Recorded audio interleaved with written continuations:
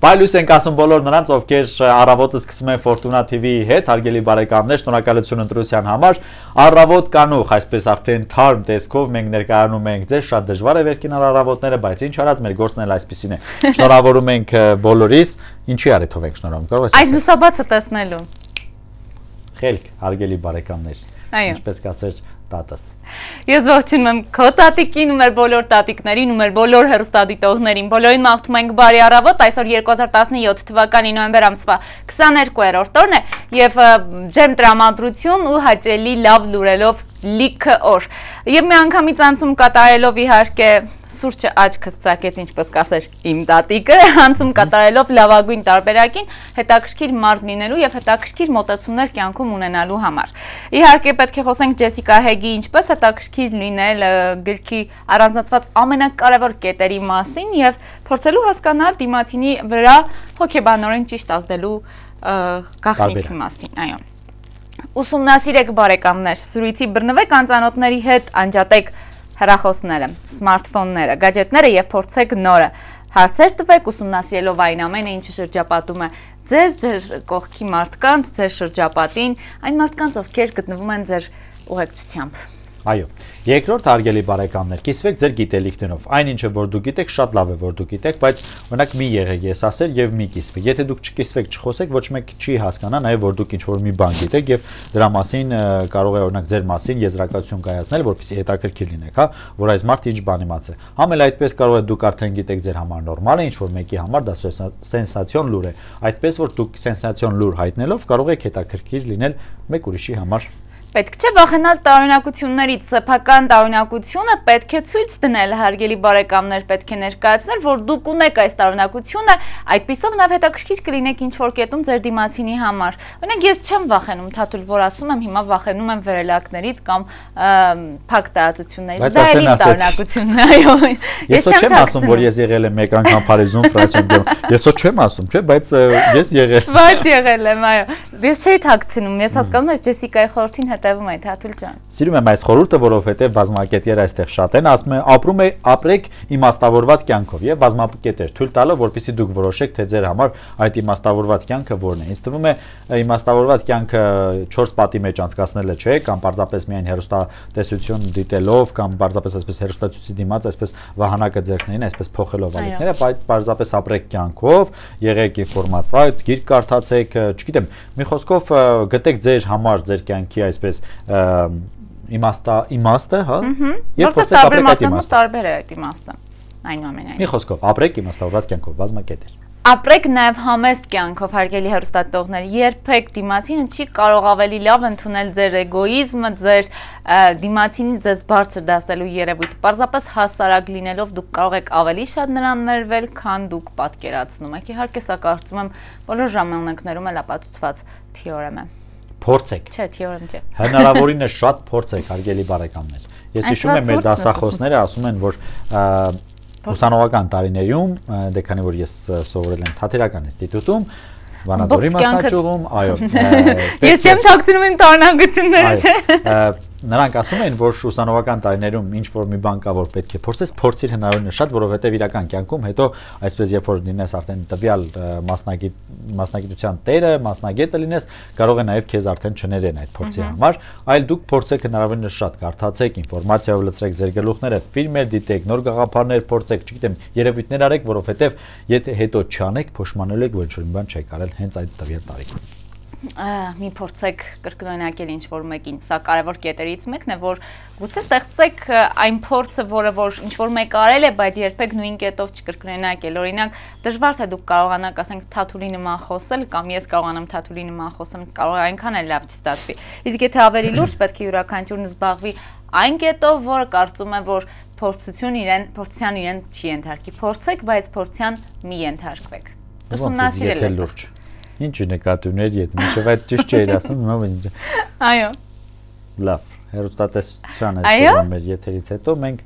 հանդիպում կունենանք Ֆորտունայի շենքի հետևում, հարգելի բարեկամներ, եւ խիզախություն է պետք։ Խիզախություն է պետք։ Խիզախություն է պետք սեփական կարծիքը արտահայտելու համար, հարգելի բարեկամներ, սեփական եսը ունենալու համար, որովհետեւ վերջի վերջո ձեր սեփական ճակատագիրը կարելի ասել դուք եք որոշում եւ եթե ինչ-որ մի բան չի լինում, մի ասեք, որ այսինչը չարեց, որpիսի ես կարողանայի անել եւ չեղավ։ Դուք ձեր սեփական ճիշտը ունեցեք, դուք խիզախ եղեք, դուք փորձեք եղեք առաջինը եւ այդպես էլ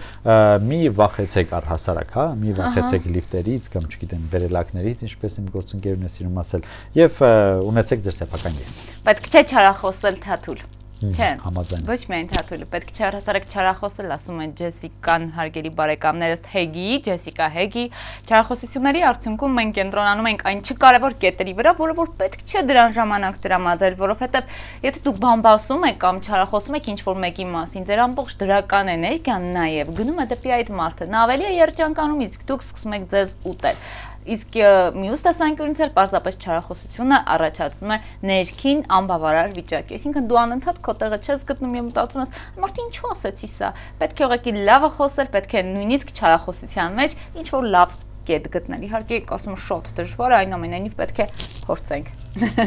Ստվում է քո համար է շատ դժվար, իսկ մեր համար շատ հեշտ է։ Եթե չարախոսության մեջ լավ կետ ես տեսնում, եւ որ քո մասին չարախոսում է։ Չկա նման բան, չկա նման բան, ոնց կարող է լինել բարի նախանց, եւ ոնց կարող լինել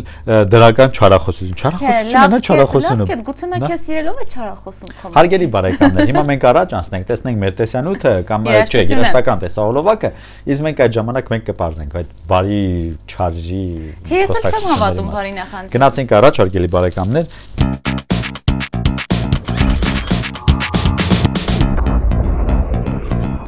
Սիրի հեռուստատոп բարեկամներ, ես ողջունում եմ ու մենք ողջունենք բոլոր նրանց, ովքեր գտնվում են Բացենյակի ուղեկցությամբ մարզային հեռուստաընկերության առավոտյան հաղորդումը յուրաքանչյուր աշխատանքային օր 9:30-ից բացում է իր եթերային դռները ու հրավիրումներ բարձր տրամադրությամբ հաջելի օրվա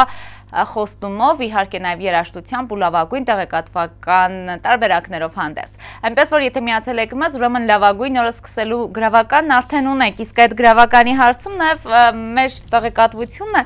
եւ այս պայն պետք է արդեն հասնենք Գերմանիա մտքով 2005 թվականին հենց այսօրն էր որ Անգելա Մերկելը դարձավ Գերմանիայի առաջին կին կանցլերը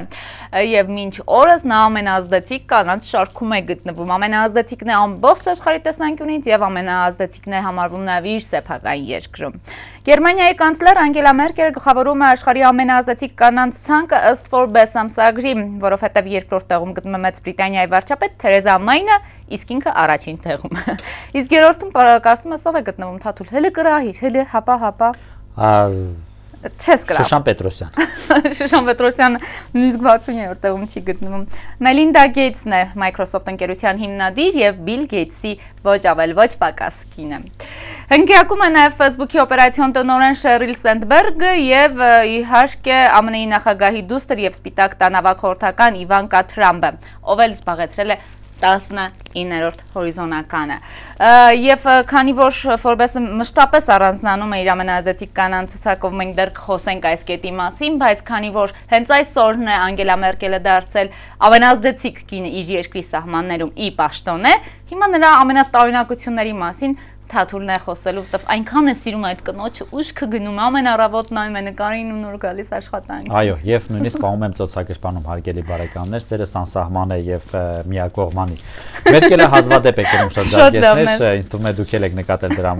այդ փաստը, որովհետեւ նա հիմնականում սիրում է տաբատներ եւ հատկապես տղամարդու այսպես տաբատներ իհարկե կոստյումով։ Եվ կանցլերը բարձրացակ չի հետևում նորաձևությանը, դա եւս դուք նկատել եք հարգելի բարեկամներ, բոլոր ցելանզեն աշխով նկատում ենք ճաշակին Մերկելը սուրճ առավոտյան այսպես Մերկելը սուրճ չի իմպում, չի հետևում այսպես հայկական ավանդույթներին, իհարկե թե որտեղից էլ պետք է հետևեր, բայց այնուամենայնիվ նա խմում է առավոտյան թարմացնող անանուխի թեյ։ Անգելա Մերկելը մասնագիտությամբ ֆիզիկ է, արդեն երևում է նրա ճաշակից, հարգելի բարեկամներ, նա ամուսնացած է առաջին անգամ 1977 թվականին, հարսանիքին գրել է կապույտ շրջարկեստ, բայց որը նրան այսպես շրջազգեստ ասացի։ Այո։ Չէ, կապույտ զգեստ, հարիք հարսանական զգեստ, որը նրան այսպես լավ խորթանիշ չի եղել, ընդամենը 5 տարի հետո նրանք ամուսնալուծվել են։ Կապույտից է, հա։ Կապույտը վտանգավոր գույն է։ Կապույտ պետք չէ։ Ոչ միայն, հատկապես տղաների շրջանակում կապույտ պետք չէ չի բերել եւ նրանք իրենց համատեղ այսպես ունեցած կբաժանվել են երկու մասի հարգելի բարեկամներ։ Լվացքի մեքենան հասել է Անգելա Մերկելին։ Իրոք այդպես է։ Լվացքի մեքենան հասել է այսպես Անգելա Մերկելին, իսկ կահույքը նրա ամուսնուն։ Մերկելը երեխաներ չունի, դա ոչ մի անգամ հարցազրույցների ժամանակ երբ լրագրողները հարցրել են ինչու չեք ունեցել երեխաներ կամ ինչու չեք ուզում ունենալ երեխաներ, նա պնդել է, որ ես դեմ չեմ, պարզապես մի խոսքով բնությունն է ինձ այսպես օրհն է եւ ես չունեմ երեխաներ, բայց ես երբեք էլ դեմ չեմ եղել։ Եվ Մերկելը արդեն ասացինք, որ երեխաներ չունի, երրորդ երկրորդ անգամ էլ նա ամուսնացել է 44 տարեկանում 1988 թվականին, կերկին այսպես պատահական, ինչպես առաջին անգամ պատահական, այսպես գնում եք փողոցով եւ միանգամից ամուսնացավ։ Ինչ հետաքրքիր, այսպես եզրակացություն են գրել մեր է նրա։ Ամուսինը Յոեխիմ Զուարն է, քիմիկոս, պրոֆեսոր ֆրակցիա են ենթարկում քիմիա, ֆիզիկա, ֆիզիկա։ Նրանց նրանց տան այսպես խոսակցություն։ Երեխաները մաթեմատիկ կծնվեն։ Այնտեղ բզբզում են, այնտեղ քիմիական ռեակցիաներ են անում։ Մի խոսքով շատ չտանենք ձեր գլուխը մեր Անգելա Մերկելի այսպես կյանքի հետ կապված, իսկ մեզ շատ գունավոր չէ նրա մոտ, այսպես եթե գծային այսպես կարդիոգրամայի տեսքով նկարագրենք, նրա մոտ պարզապես այսպես մի երկու անգամ եղել են այրի վայրումներ եւ մնացած դեպքում նրա կյանքը ընթանում է սահուն համընթաց մի օրինակ Նրա կյանքը սահուն է ընթանում նույնիսկ շփման դաշտում։ Նա ահավոր շատ է սիրում հաղորդագրություններ ուղարկել հարգելի հերոստատողներ եւ օրը 10, 15, 20, 25 հաղորդագրություն իր ընկերներին ուղարկումը նույնիսկ կարելի է բարձրաստիճան հաղորդակցությունների ժամանակ նրա ձեռքին տեսնել iPad-ը կամ պարզապես հեռախոս, որով նա կապնվում է իր ընկերների հետ եւ անընդհատ գտնվում նրանց սպասելու պատասխանի դաշտում։ Մերկելին շատ հաճախ կարելի է տեսնել հենց այսպես նորագույն մեթոդներով, հեռախոսներով կամ էլ iPad-ներով, բայց շատ շատ քիչ կարելի է նույնիսկ ահավոր չի կարելի տեսնել երբ նա շների տարածքում է որտեղ նա վախից փախնում է տեսնում ես ինչ նման է դու մերկել այո 2007 թվականին Ղրիմում Պուտինի հետ հանդիպման ժամանակ շուներ ներս մտներ բարեկամներ Մերկելը հազիվ կարողացել է զսպել իր վախը, ասում են, որ Պուտինը իմացել է Մերկելի վախի մասին եւ դիտավորյալ շանը ներս թողել, հետո գրկել Մերկելին, այսինքն գրկելու առիթ էր պետք Պուտինին, հասկանում ես։ Նրա գրասեղանի վրա դրված է Ռուսաստանի կայսրուհի Եկատերինա Մեծի դիմանկարը, նույնիսկ սա չի խանգարել, որպեսզի Պուտինը շնով վախացնի Մերկելին։ Այսպիսին է ռուս-գերմանական հարաբերությունները բարձր աստիճանների վրա, իսկ մենք տեղավորվենք մեր աստիճանների տարածքում, եթերային էստաֆետն էլ տրամադրենք Սյուզին, որովհետև նա պետք է խոսի այն աստիճաններից, որոնք որ կոչվում են ազդեցիկ կանանց աստիճաններ։ Սյուզի եթերը քոնը։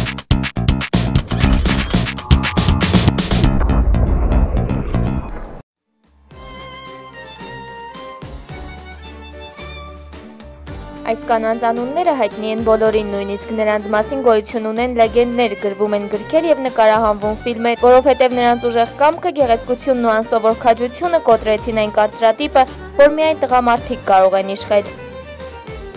Կլեոպատրան եղել է հին Եգիպտոսի վերջին թագուհին, նա իշխանության եկավ այն ժամանակ, երբ Եգիպտոսի աստղը խամրել էր։ Այդ ժամանակաշրջանում աշխարհում ամենաազդեցիկ պետությունը Հռոմն էր։ Եգիպտոսի ազատության օրերը սահմանափակ են եւ նա այն թագույներից էր, որ մինչև վերջ պայքարում էր օգտագործելով ամեն տեսակի հնարավորություն իր գահի եւ պետության անկախության պահպանման համար։ Բազմաթիվ հնագույն կուրտիզանուհիների մեջ առաջին տեղը պատկանում է գեղեցկուհի Հեղինեին, ով Մենելայոսի կինն էր եւ ում պատճառով էլ սկսվեց տրոյական պատերազմը։ Վաղ տարիքում սիրո արահետներում հայտնվելը անդրադարձավ Հեղինեի հոգեկան աշխարհի եւ ողջ կյանքի վրա։ Ժաննա Դարկը 100-ամյա պատերազմի ամենահայտնի դեմքերից է ֆրանսիացի հետազոտողները հաստատում են, որ Օրլեանի կույսի կերպարը հանդես էր գալիս Ֆրանսիայի կողմից հոգեբանական զենք Անգլիայի դեմ։ Պատմության մեջ Ինդիրա Գանդին իր երկրի առաջին կինն է եղել, ով տարիներ շարունակ Հնդկաստանի կառավարության ղեկավարներից մեկն է եղել։ Նա ամեն ինչ արել է Հնդկաստանի միջազգային հեղինակության բարձրացման համար։ Փոխվում էին վարչապետներ, սկսվում եւ ավարտվում էին պատերազմներ, քայքայվում հակայսրություններ, միայն Բրիտանիայի թագուհին եւ միապետությունը մնում էր անսասան։ Համաշխարհային պատմության բեկումնային ժամանակաշրջանում Բրիտանիան այս թագուհու օրոք ոչ միայն պահպանեց իր ռազմական եւ տնտեսական հզորությունը, այլև ընդարձակեց իր տիրապետության սահմանները։ Մարգարետ Թեչերի վարչապետ լինելու 11 տարիների ընթացքում Մեծ Բրիտանիայի տնտեսական աճը 3 անգամ ավելի բարձր է եղել, քան նախկին 10 տարիների ընթացքում։ Երկաթյա լեդիի օրոք Բրիտանիան կարողացավ անցնել վերակառուցման ժամանակաշրջանը եւ մոդիֆիկացրեց իր տնտեսությունը։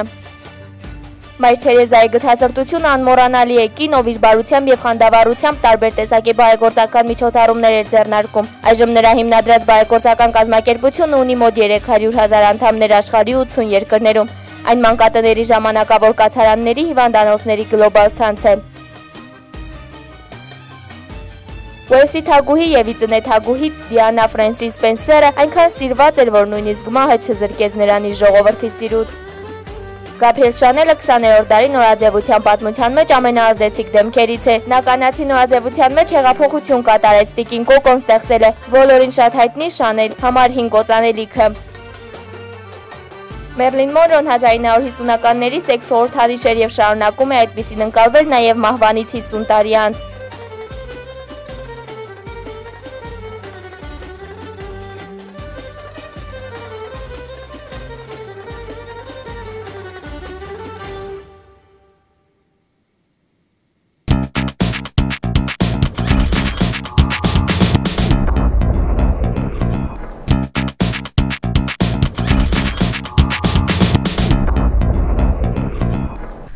Սիրելի հերոստատիտող բարեկամներ, մենք գտնվում ենք բաց սենյակում, դուք էլ արդեն բաց սենյակի այս կողմում եք գտնվում, եթե միացակ մեզ ու բոլորիդ մաղթում ենք հաճելի տրամադրություն անուշ լինի սուրջը թաթուլ ջան։ Հանուշեք ծոցում ծերանը։ Շնորհակալություն։ Նոյեմբերի 22-ին հարգելի հերոստատողներ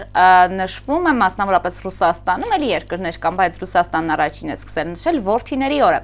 Հայերն ասում են, որ իսկական հայ տղամարդը պետք է տուն սարքի, ծառ տնկի ու որթի ունենա։ Ճիշտ է։ Կա նման բան։ Ճիշտ է։ Փաստորեն ռուսներն էլ են դա ասում, որովհետև նրանք հատուկ օրեն առանձնացրել ռուսները, որը որ հենց նշում են worth-իների օրը մեծարում են այն մարդկանց այն ընտանիքներին, ում ընտանիքներում շատ են worth-իներ ծնվում։ Արու զավակներ։ Ասում եմ, բայց ինչ լավ է, չէ, որ ինտերնետը կա եւ ինտերնետի միջոցով օրինակ այսպես իմանում ենք, այսպես բացում ենք ինտերնետը եւ տեսնում ենք, որ այսօր այսինչ օրն է, այսինչ օրն է, այսինչ օրն է։ Ինտերնետի զարգացման հետ նաեւ մենք իմացանք, որ նաեւ այսօր worth-իների այսպես միջազգային, ասենք, բայց 2 օր առաջ նաեւ տղամարդկանց օրն էր։ Հիմա նրանք անջատել են։ Բա ուր էիք, ուր էիք այդ ժամանակ։ Միայն մարտի 8-ն ու ապրիլի 7-ն եք հիշում։ Հետն էլ սարքեցին միամսեք։ Տղամարդկանց օրն էր, մի հատ հիշեիք, մի հատ կանչեիք շատ լավ սեզոն է հիմա խաշի օրինակ հարգելի բարեկամ։ Մի բուկետ խաշ նվիրեիք բոլորին թող ուրախանային տղամարդիկ։ Ես Սպասենյակի ստեղծագործական թիմի անունից մասնավորապես կանանց Ոտնկայս ասում եմ շնորհակալություն։ Ոտնկայս նստած հարգելի բարեկամ, դե իհարկե շնորհակալություն գոնե չհիշացնեիր։ Գոնե չհիշացնեիր։ Լավ, եթե հուզվել ես թույլ տուր ես շարունակեմ եթերը։ Շարունակիր, հա։ Քեզ խոստանում եմ հաջորդ տատիկի դեղատոմսում խաշյուրա սիրելի, իսկ այսօր այլ բան է պահպանված քեզ համար։ Շատ լավ։ Լավ։ Այսպես են համոզում եւ հա փորձում կրվի դաշտից հեռու պահել տղամարդկանց հարգելի բարեկամներից բորթիների մասին խոսելով նշենք որ Ռուսաստանում այս տոնը նոր տոն է Թաթուլ ջան։ Այո, երևի նոր են ունեցել բորթի։ Այն ժամանակ չեն ունեցել բորթի, այն ժամանակ մեն ունեցել են տղա։ Իսկ հիմա ունեցել են նաև բորթի։ Հետո գիտես, այստեղ այստեղ ստեղծված հանձնաժողովը, ովքեր որ տոնացույցերն են կազմում ռուսական, մտածել է, որ եթե ունեն մայրերի օր ռուսները, ունեն նաև հայրերի օր, ունեն նաև աղջիկ երեխաների օր, մեկ ամիս առաջերի դեպ ինչու՞ չունենալ worth-իների օր։ Ու սա այն ընտանեկան տոնական ցանկն է ամփոփում, որն էլ տոնացույցում առանձնանում է հենց այս ձևով։ Մայրերի, հայրերի, որդիների, քույրիկների, պապիկ տատիկների էլ կունենան, եթե շատ խորանանք։ Մի խոսքով օրվա նպատակը այն է, որպեսզի մեծարեն որդիներին, որովհետև նրանց կյանքում բաժին են ընկնում ավելի շատ դժվարություններ։ Դե ռուսներն են այդպես ասում, այնպես չէ, որ աղջիկ երեխաները չեն ունենում դժվարություններ։ Այո, եւ հիշենք, որ ռուսները շատ են սիրում այդ տոները, հարգելի բարեկամներ, այդ վիխադնոյ կոչվածը նրանց մոտ ամենաշատ ղազ ուտելու տոները։ Այո, հա։ ամենաշատ ընդունվածն է, ինչի առիթով էլ նրանք ինձ թվում է պարզապես նոյեմբերին տեսել են, որ քիչ է տոներ բաները։ Մտածել են, որ կարելի այս չի կարող այսպես լինել։ Մենք չենք կարող այդքան։ Մեզ պետք է ոչ աշխատանքային օր, որը պետք է դնել worth-իների օր։ որ այնպես որ մի օր էլ կարող է շատ լինել նաև չամուսնացած ворթիների օրը, ամուսնացած ворթիների օրը, իհարկե դրանք շատ կարևոր են Ռուսաստանի համար, դրանք պետք են։ Բայց Հայաստանի համար կարծում եմ հենց այս նոտայի վրա պետք է ամենաջերմ շնորհավորանքի կենտրոնում պահել մեր զինվորներին։ Որովհետև մեր հայորդիներին, հարգելի հերոստատողներով, քեր այս պահին մեր սահմանում են, իսկ մենք հանգիստ նստած այստեղ աշխատում ենք, եթերում բարևում ենք, շնորհակալություն ենք հայտնում, բաց սենյակ ենք բաց ստացում։ Մի խոսքով բոլոր նրանց հարազատներին սիրելի մայրեր, քույրեր, եղբայրներ, տատիկ, պապիկներ, ձեզ համբերություն, սիրելի աղջիկներ, ձեզ էլ համբերություն, իսկ մեր բոլոր զինվորներին ուղակի թող ուղակի թող խաղ լինի մեր երկինքը ու նրանք հանգիստ անհոգ ծառային ու գան հասնեն իրենց ելիներին։ Արժայզի։ Բան ասելու։ Գնացինք առաջ, տեսնենք ինչ առաջարկում մեր ռեժիսորը, որից հետո նորից կլինենք բացենյակի տաղավարում եւ կասենք բարելույս։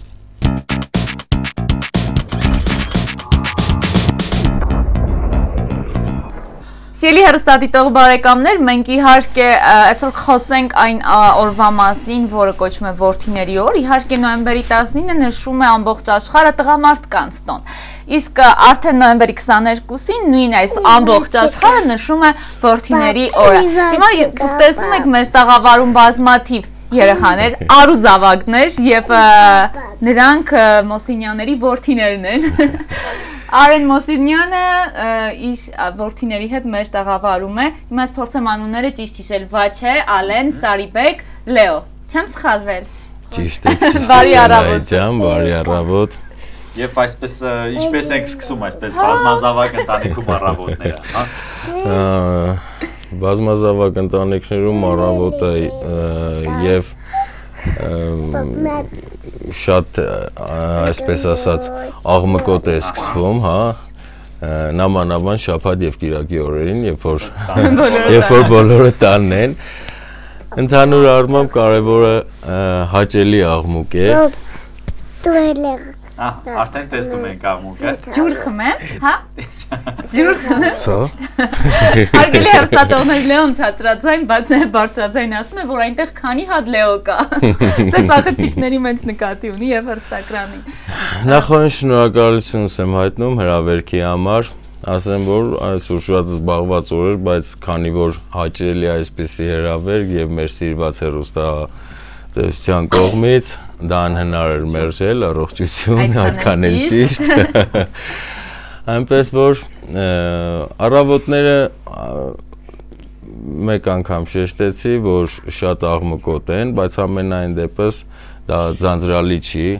շատ ուրախ, ну կարևոր առողջ այո այո կարևոր առողջ մտա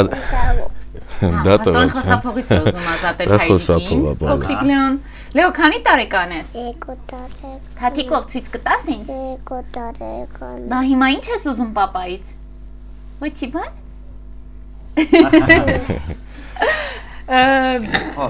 Եվ մենք նաև տեսնում ենք, որ մենք բացի այն, որ ունենք բազմանթամ ընտանիք, ворթիներով լիքը ընտանիք, ինձ թվում է նաև այն գաղափարը ձեզ երևի լավ են օրնել, որ 7-ը ворթով սեղան նստեք, այսպես ճանապարհին։ Հաստատ ձգտում եք դրան։ Կարելի է, որովհետև ինչպես ասում են, մեծերին պետք է լսող լինել եւ դա մեր մեծերից եկած խոսք է, այնպես որ երևի թե տա Աստված Բայց մինչ անցնենք ցուցազնագրքին եւ ցուցազումներին, ես ուզում եմ նաեւ դարձյալ ընտանիքից չհեռանալով հայկական ավանդական ընտանիքներում անպայման ասում են, որ հայ տղամարդը պետք է ծառ տնկի, տուն կառուցի եւ ворթի ունենա, բայց չի ասում, որ 4 կամ 7, ինչպես Թաթուլն ասաց, ворթի։ Ձեր գեներում արուզավակներ ավելի շատ են ծնվել, թե ուղակի աստծո Երևի թե աստծո կողմից պարգև է սա։ հա։ Ահա։ Քանի որ ես չեմ ունեցել քուր, եղբայր, միգուցե դրա փոխարեն Աստված կամեցավ այսպես։ Իսկ այս մեր փոքրիկ հրաշքները չեն ուզում ունենալ նաև քույրիկ, հա? Չեք ուզում։ Հա, բա չէ, այ չես։ Հաթուլը համազելու է հիմա։ Քույրիկ, հա? Քոպես այսպես գեղեցիկ մի քուրիկ ունենաս, հա, չես ուզենա։ Չէ։ Բացարձակ մի դուր թաթ։ Լրությունը համաձայնության նշան է, այո, կուզենա։ Շատ լավ։ Փաստորեն ընտանիքը ոչ միայն արու զավակներով է առանձնանում եւ ասես նաև շնորհով, հա, Աստծո կողմից տրված շնորհով։ Իհարկե բոլորս էլ հիշում ենք դեռ Սարիբեկը բավականին փոքր էր, իսկ հիմա արդեն 10 տարեկան է Սարո, հա? 10 ու շարունակում է հարգելի հերթատողներ մեր մեդալները, պատվոգրերը, չգիտեմ, հավաստագրերը խոսում են դյուցազունի մասին։ Հիմա ինչ ես անում։ Սարիբեկ մի քիչ մեզ պատմիր, ինչ է փոխվել քո կյանքում, ինչ ես հասցրել արդեն անել, ինչով ես զբաղվում։ Հիմա ջյուդո սպորտով եմ զբաղվում, ռեկորդները դադարացրել եմ, բայց կշարունակեմ։ Իսկ վերջին ռեկորդը հիշացնես մեզ որն էր վերջին ռեկորդը, որ արեցիր։ Վերջին ռեկորդը ես լավ չեմ Լավ չէ։ Քանի որ արգելի բարեկամներ այնքան շատ են։ հայրիկը հիշի։ Ես հուշեմ կքանից վարժությունը 1 րոպե ժամանակահատվածում, երբ որ իր նախկինում կատարածը ա, 6 անգամով ավելացրեց, այսինքն 60 վայրկյանում կատարեց 76 անգամ կքանիստ։ Իսկ դրանից առաջ կատարել էր 60 վայրկյանում 70 անգամ։ Սարջան արդեն քանի մեդալ ունես Կներս Թաթուլ ջան։ 12 Բա քանիսին ես ուզում հասնես։ շատ Շատ, ինչքան շատ լինի։ Նա կհասնի։ ա, Սարոնի ռեկորդները պարզապես ինքը ռեկորդ է սահմանում եւ ինքն էլ ռեկորդներ անցնում է։ Բայց Չի թողնում նույնիսկ այսպես շանսեր մնացածին, որպեսզի կարողանա։ Ինքը կատարում է, նաև իրեն գերազանցում է։ Հիմա նաև նշեմ, որ համաշխարհային ռեկորդների երկու կենտրոնները գրանցել են Սարեբեկի ռեկորդը եւ հավելեմ, որ այդ ռեկորդները հիմա պայքարում են այլ ազգի, նաև նշեմ, որ բավականին տարիքով մեծ անձինք փորձում են գերազանցել, որ իրենց մոտ չի հաջողվում։ Կոնկրետ ռեկորդների համար չկա, օրինակ Սանդրակ, օրինակ մինչև 10 տարեկանների համար Սանդրակ։ ռեկորդների մեջ ուրեմն տարիքային սահմանափակում չկա, կա ընդհանրապես դրա հաշվարկը կատարվում է ըստ իրենց դիրքի կատարված վարժության ծանրությունը, հա, եւ հատականակը այդ ծանրության մեջ որքան հատ է կատարվում։ Իսկ տարիքը արդեն ասեմ որ հենց կոնկրետ այս վարժությունը երեք մատի հենում հենում ծալում վարժությունը 60 վայրկյանում 83 անգամ Սարիբեկը որ կատարել է մինչև 90 անգամ կատարողներ կան, բայց այն դիրքը, այն ծանրությունը, որը այդ նու անկյուններ են հաշվարկվում, չգիտեմ, մի քիչ լավ չեմ տիրապետում իրենց հաշվարկներին, բայց ամենայն դեպս գիտեմ, որ 90 հատ կատարողը նույնիսկ այդ հզորությունը ունի եւ չեն գրանցում։ Եվ կից ռեկորդ սեթեր Ամերիկայի ռեկորդների կենտրոնը գցել է նաև ով ով փորձում է հիմա Սարիբեկի ռեկորդը հաղթահարել։ Նաև նրա Սարջան չեն հաղթահարելու։ Դու հանգիստ նոր ռեկորդներ սահմանիր։ Ես այստեղ խտացնում եմ ը, ջուցազնագիր, տրվում է Մոսինյանների ընտանիքին ջուցազնագրքում բազմաթիվ եւ տարատեսակ ռեկորդներ սահմանելու եւ համաշխարհային ճանաչման արժանանալու համար։ Վաճումը գրանցված է Հեստանի Հարաբերության ջուցազնագիր գրքում։ Սա ինչ է, որը տրված է Վարդան Թովմասյանի կողմից։ Ուրեմն ցուցազնագրքում որպես ինչպես նշված է այդտեղ նվաճումների եւ տարբեր տարբեր, հա այդ ամենի համար ոնց որ, որ այսպես ասած ռեկորդային ընտանիք, հա, ընտանիք ով ռեկորդների ասպարեզին նվիրված, անընդհատ առաջընթաց, մի խոսքով դե ճիշտ է, ինչ այս մենք չէինք գրանցվել, բայց անընդհատ բոլոր ռեկորդների մեջ այդ քայլերը, այդ փուլերը մենք նաև ծնողներս անցնում ենք իրենց հետ միասին կարելի Իսկ ասել։ ըմ, բացի Սարոյից այլ երեխաներ, հա Ալենը կարծեմ փորձում էր, չէ՞։ Ալենը Ալենը նաև ռեկորդների Հայաստանի ցուցազնագրքում գրանցվել է ինքը մեքենայի հրում վարժություն է կատարել Սարիբեկին տեսնելով ը, ուղղակի իր հիացմունքից ելնելով կատարեց եւ 40 մետր հրեց մեքենան առանց ուղևորների Եվ եթե ընտանիք, ուրեմն այլ ворթիներ, այլ տղաները, երեխաները եւս փորձ ունեն, հա, արդեն, եթե չեմ սխալվում, Ալենն էլ էր կարծեմ։ Ալենը նույնպես գրանցված է ցուցազնագրքում, մեքենայի հրոմվարժություն է կատարել բավականին փոքր հասակում, երբ որ Սարիբեկը իր հրոմվարժությունը կատարում էր, այդ ժամանակ ողջևորված նաև ինքը ստիպեց մեզ, որ ինքը փորձի, փորձեց եւ ստացվեց, որ 40 մետր մեքենան առանց ուղևորների հրեց, քանի որ Սարիբեկը ուղևորներով էր հրում, իրեն համար փորձեցինք եւ ստացվեց, որ 40 մետր հրեց մեքենան։ Ինչ նպատակներ ունեք ձեր ворթիների հետ կապված եւ անձնական եւ նաեւ այս հաջողությունների ասպարեզում։ Ворթիների հետ կապված նախ եւ առաջ ամենամեծ նվաճումը ծնողի համար պետք է լինի երեխաների առողջությունը։ Այո։ Ամենաառաջինը դրան ենք հետևում։ Նոր նրանից հետո քանի որ տղաներ են, Այո հայ իսկական տղամարդ մեծանալուն ենք հետևում, որ իսկական տղամարդ մեծանան ու հենց հայ տղամարդ հա, քանի որ այսօր բավականին ձուլվել են տարբեր տարբեր վիճակներ կան եւ միություն ենք ուզում մտնել։ Հա, ամենայն դեպս մեր հայկական միությունը պահպանում ենք։ Օրվա խորքից հեռու չգնանք ու ворթիների օրն է։ Ինչ է պետք յուրաքանչյուր հայ ընտանիքում այն ծնողին, ով ունի ворթի ինչ երջանկություն կամ ինչ զգացողություններ կարող է տալ օրվա խորհրդից չգնալու համար։ Ինչ փոխեց ворթիների ծնունդը ձեր կյանքում։ Ворթիների ծնունդը դա մի քիչ մի որքան խոսենք դեռ կխոսենք, հա, անընդհատ ամեն ворթու հետ մի բան փոխվեց եւ երբ որ մարդիկ տարակուսած հարցնում են, բա այս հայկական իրականության մեջ, հա, այսինքն ինչպես պետք է բոլորին կարողանաք տեղավորել, տնավորել եւ այլը, ես ուղղակի պատասխանում եմ, որ ամեն երեխա իր բախտավոր աստղի տակ ծնվում է եւ այդ աստղը, այդ բախտը, այդ նու բարբարով ասած գսմաթ է, հա, ամեն երեխա իր գսմաթով Այնպես որ պետք է որ շատ լավ լինի ամեն ինչ։ Մենք կենտրոնացել ենք հենց լավ մարդ մեծանան իրենք Դրա վրա ամենամեծ կարևոր։ Ահա։ Այդ փոքրիկը արդեն։ Քանի որ արդեն Լեոն Հոքեի մոտ եւ Լեոյի մոտ չկան արդեն ինչ որ նախանշաններ, որոնք նախանշաններ։ Ասեմ որ Վաչեն էլ զբաղվում է նստի տղա ջան։ Վաչեն էլ զբաղվում է սպորտով, քենդո մարզաձևը,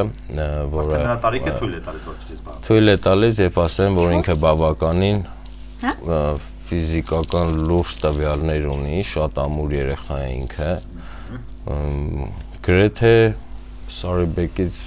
ոչի բանով չի տարբերվում։ Միգուցե եթե շատ մանրակրկիտ ուսումնասիրենք նաև առաջ լինի, բայց ամենայն դեպս այս բանին այլևս ռեկորդների մասով այնքան էլ երևի թե նու թե ժամանակայինով չեմ հասցնում համ երևի ռեկորդները կդադարեցնենք թող սպորտի մեջ իրենց ցույց տան, ցուցադրեն, կարողանան ազգի դրոշը բարձրացնել։ Սարո, ինչ ես ուզում դառնալ։ Ուզում եմ դառնալ ջյուդոյի օլիմպիական չեմպիոն։ Ալենը։ Ինչ ես ուզում դառնալ։ Ալենա դեռ կմտածի ինչ է ուզում դառնալ։ Իսկ Վաչեն Չեմպիոն։ Ես համոզված եմ, որ նրանք 4-ն էլ ուզում են դառնալ չեմպիոն եւ դուք էլ կգրանցվեք արդեն հայկական չեմպիոնական ընտանիքում, գիտեմ նոր գիրք կբաց։ Հայկական չեմպիոն հայրիկ։ Հայկական չեմպիոն հայրիկ։ Հաջողություններ ենք մաղթում, ամենակարևորը, որ ձեր ընտանիքում մշտապես ձեր փոքրիկներից անպակաս լինի առողջությունը, աստորհնությունը եւ նորանոր ձեռքբերումներ ու հաջողություններ։ Եթե ժամանակ ունենք, նշեմ երկու ձեռքբերման մասին։ Այո։ Ուրեմն համաշխարհային ռեկորդներ տարիներում դե քանի որ գրանցվել է համաշխարհային երկու ռեկորդների կենտրոնում Սարիբեկը, Հնդկաստանի ուրեմն ռեկորդների կենտրոնը, մյուս մյուս պատվոգրերը, հա, գավաթն գավաթը նաև մի խոսքով այդ երեքը, հա, այնտեղ ուրեմն տպագրվել է նաև համաշխարհային ռեկորդների գիրքը, նշեմ նաև որ մեր Սարիբեկին հրավիրել էին Հայաստանը ներկայացնի, ու չստացվեց մեր ներկայանալը, համենայն դեպս այսօր ունենք հնարավորություն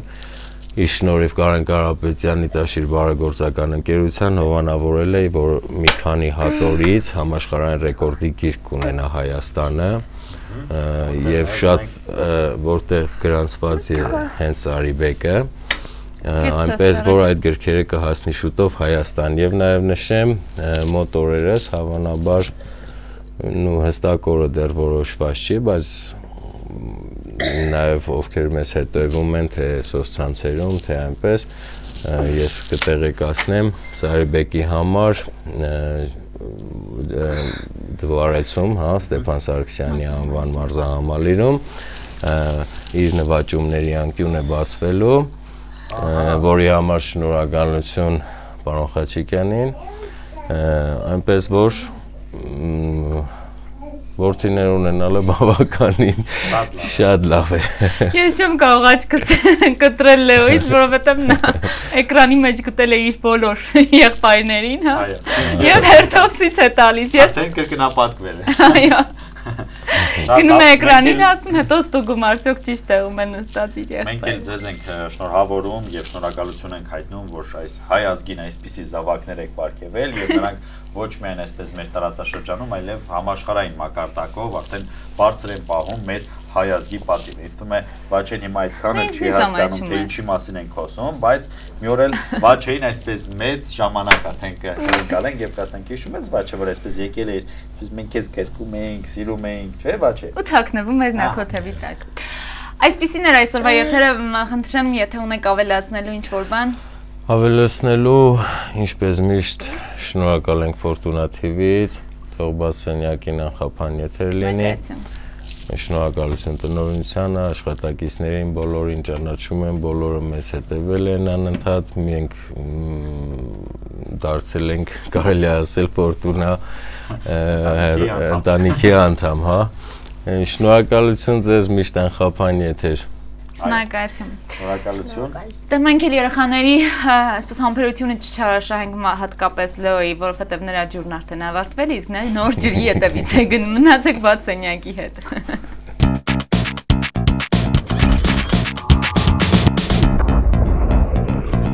Սիրելի հրստատողներ, բարի լույս, եթե հենց նոր միացակում ես, սոբատ սենյակ, ներսուսում եմ այս բան ջան, ողջիններ ուղարկել մեր բոլոր տատիկներին, մեր շատ երիտատիկներին մաղթել միմիային առողջություն եւ շնորհակալություն այն դեղատոմսերի ու օգտակար խորհուրդների համար, որոնք ունենք։ Հայտատիկները, չգիտեմ, այն ուտելիքի մասին, որի մասին այսօր պետք է մենք խոսենք, որքանով են, որովհետեւ շատ հեռու ինքը հայկական միջք չի կոչվում, այնուամենայնիվ Հերու չէ մեզնից։ Խոսքը վերաբերում է բանանին, պետք է այսօր խոսենք բանանի օգտակարության մասին։ Բանանը շատ շատ օգտակար է եւ նույնիսկ որքան էլ որ տարօրինակ լինի, հանգստացնում է մարդու նյարդերը։ Հիմա կերա լրիվ հանգիստ է շատ հանգիստ եմ։ Դուք եր բանան։ Հատկապես շատ եմ սիրում, օրինակ բանանը շատ հանգիստ հանգստություն է բերում, եթե օրինակ լինում է օրինակ մեծ կապերով շատ է լինում, այսպես մի քանի կիլոգրամ լինում։ Ինչքան շատ է լինում, այնքան հանգստությունը Ես չեմ ուզում դու անհանգիստ եթեր ունենաս։ Ահա, շատ շնորհակալություն, շնորհակալություն։ Հարգելի բարեկամներ, ասում են բանանը էներգիայի մեծ աղբյուր է, ինչի համար էլ օրինակ հատկապես մարզիկները, ովքեր հիմա մեզ դիտում են, կփաստեն, նրանք շատ են օգտագործում բանան։ Բանը նպանակում է ամինաթթուներ, որոնք օգնում են հանգիստ եւ երջանիկ զգալ։ Այն ստրեսից պաշտպանող հատկություն ունի նույնպես, պատկերացնում ես, հիմա եթե դու ինձ ստրեսի ենթարկես, ես կարող եմ ուտել։ Ենթարկել էի, չէ՞ մի քանի րոպե առաջ, հիշում ես, մեղքերս էի քավում։ Եվ բանանը պարակում է մեծ քանակությամբ կալցիում եւ քիչ քանակությամբ աղ, ինչը արդյունավետ է սրտի համար եւ օգտակար է արյան շրջանառության համար, այնպես որ բանան, բանան, բանանիր Դե բանանիր ես շարունակեմ։ Այո, դու շարունակել ես կբանան։ Հարգելի հերոստատիտողներ, բանանը նաև մեծ քանակությամբ սպիտակուցներ է պարունակում ու նաև երկաթային մաս հատկապես կարևորը փոքրիկների աճի համար, այնպես որ պատահական չէ, եւ փոքրիկներին մանկաբույժները նշանակում են անպայման օրական 1 բանան։ Օրական 1 բանան արժե ուտել նաև այն պարագայում, երբ մտածում եք, որ ձեր օրգանիզմը հակում ունի գիրանալու, որովհետեւ այս դեպքում այն հալեցնում է բոլոր ճարպերը, անհուշ լինի թաթուլության եւ օգնում է որպեսզի դուք չգիրանաք ու պահպանեք ձեր կառուցվածքն ու կազմվածքը։ Այո, ունի երկաթային մայց, բայց շատ փափուկ է հարգելի բարեկամներ։ Այնպես շնորհավոր շնորհակալություն տատիկներին միշտ այդպիսի նյութեր ուղարկեք, որոնք նաև կլինեն այնպես, որ մենք կունենանք տաղավարում, իհարկե օգտվողը ես կլինեմ։ Ոչինչ, ես կօգտվեմ։ Դուք մի նեղություն քաշեք, ես ցույց կտամ ոնց են օգտվում։ Այո, ոնց են օգտվում։ Շնորհակալություն։ Բանանը օգտակար է նաև հղիների։ Բա հղիներին Շատ լավ է։ Այնպես կուլտվեցիր վախեցա միտքը շարունակեմ բանան օգտակար նաև հղիների համար, որովհետև այն բոլոր միջկն է, այն ամբողջական մտքի հավասարակցությունն է պահպանում, որը հասնում է հենց փոքրիկին։ Խոսքը երկաթի մասին էր, այսինքն ավելի արմուշ ոսկորներ ունենալու համար փոքրիկների։ Իսկ Հասյուզին տեսնենք ինչի մասին է խոսելու, բայց որ բանանի մասին է խոսելու, դա հաստատ է թաթուլը մինչև մյուս բանանը կուտի, ես եթերային ստաֆետը կփոխանցեմ Սյուզեին։ Այո, ես արդեն ոչնչացրել եմ։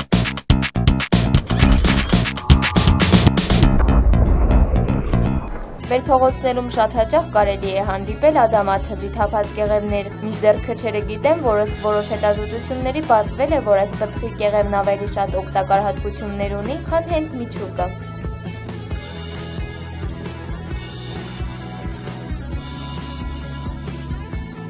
Այնպես որ ավելի լավ է հետևել կենտրոնական Աֆրիկայի բնակիչների օրինակին։ Նրանք բանանի կեղևը չեն թափում, այլ չորացնում են ստվերոտ եւ քամոդ վայրերում։ Այն էլ այն կեղևը, որի վրա չկան սև կետիկներ։ Այնուհետև այդ չորացած կեղևները աղում են դարձնելով փոշի, հակում են ապակե տարայի մեջ ու պահում մութ եւ սառը տեղում։ Այս փոշին օգտագործում են որպես պրոֆիլակտիկ միջոց աղիքային խարամների դեմ։ Այն հատկապես շատ լավ միջոց է երեխաների համար։ Շատ կարևոր է իմանալ, որ բանանի կեղևը չի առաջացնում ոչ մի թունավորում կամ այլ բարդություններ։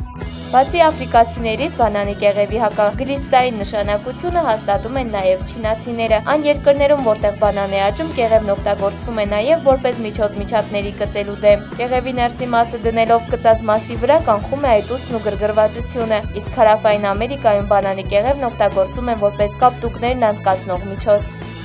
Հյուսիսամերիկյան բժիշկներն էլ խորհուրդ են տալիս բանանի կեղևն օգտագործել որպես գործնուկները բուժող միջոց։ Դրա համար անհրաժեշտ է հասած բանանի կեղևը կտրել 2-ից 3 սանտիմետրի չափով, ներսի կողմից սկսել սխտորի հյութ ու հենց այդ մասով դնել մաշկի անհրաժեշտ հատվածի վրա ու կապել։ Այս պրոցեդուրան պետք է կրկնել այնքան ժամանակ, մինչև գործնուկի թաղանթի կոշտացած մասը կանհետանա, հետո էլ գործնուկը։ Պետք է նաև նշել, որ կապտուկների, գործնուկների եւ այլ բաների դեպքում օգնում է հասած բանանի կեղևը, երբ հայտնվել են սև-սև բծեր։ Բանանի կեղևը կարող է օգնության հասնել նաև աչքերի ուժեղ ցավին, օրինակ գազաէլեկտրաերակցողներին։ Բանանի կեղևն աչքերին դնելով կզգաք ցավի ու բորբոքված վիճակի հանգստացում։ Բանանը համարվում է բարձրարժեք սնունդ աղեստամոքսային խանգարումների, աղիքաբորբի, հաստ աղիքի բորբոքումների եւ այլ հիվանդություններով տառապողների համար։ Այն օգտակար է նաև բերանի խոռոչի բորբոքումների դեպքում, ինչպես նաև ստամոքսային խանգարումների ժամանակ, հատկապես երեխաների համար։ Առաջարկվում է նաև գերլարման, լյարդի ու սրտային հիվանդությունների դեպքում։ Բանանի հյութն իսկապես սպեղանի է ստամոքսի ու աղիների արյունահոսության ժամանակ։ Բանանը հակացուցված է ստամոքսի բարձր թթվայնություն ունեցողներին։ Սուզաննա Նալբանդյան, Բացենյակ